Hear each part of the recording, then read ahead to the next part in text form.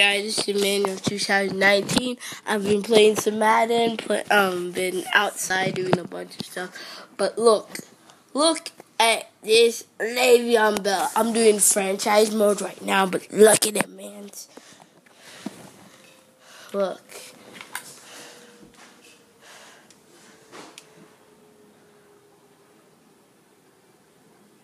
Look, he got three broken tackles and kept on going. Fantastic.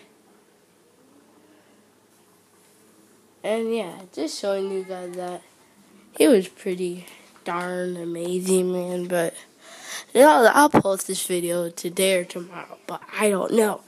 That's the fun of it, man. Blah.